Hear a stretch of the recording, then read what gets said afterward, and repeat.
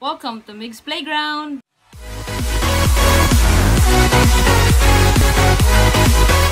Hi guys! Welcome to my channel and napakita ko sa inyo kung paano ako nakagawa ng ganito.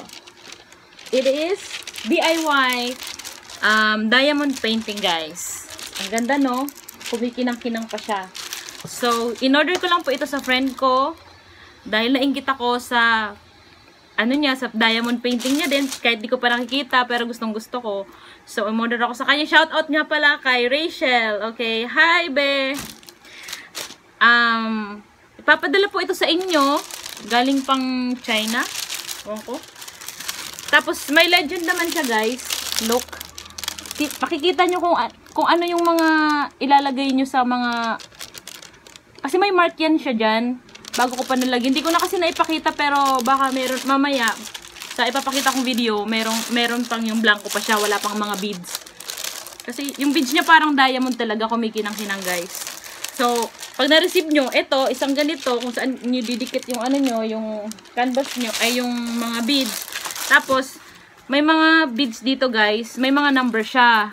So, titingnan, titingnan nyo lang sa legend. Tingnan nyo, oh. Number 10. Ito number 3. Mabilis lang siya guys actually. So, nung una hindi ko alam kung paano ko gagawin kasi mahirap kuhanin yung mga beads. So, meron palang ganitong ibibigay kasama sa package. Saka, parang ballpen na walang ink. Ang gagawin nyo lang, lalagyan nyo yung ganyan, lalagay nyo lang ganyan. And then, pag kinuha nyo yung beads, mabilis lang siyang makuha. So, may ganito pa pala, parang lagay ng beads. Pag sinake nyo dito guys, yung beads, magpa-proper na siya.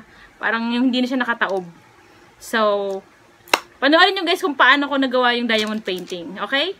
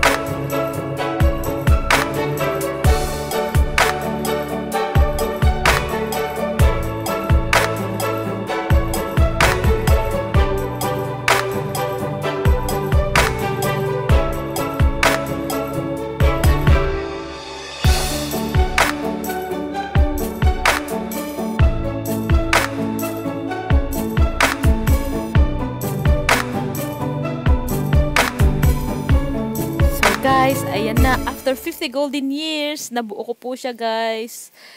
Napakaganda ng aking obra maestra. Dinikit ko po siya sa pader para lalo nyo makita ang pagkinang. Gabi ko po siya kinuhanan. So, nagre-reflect yung mga lights niya. So, sipag lang guys at tiyaga. Okay, bye!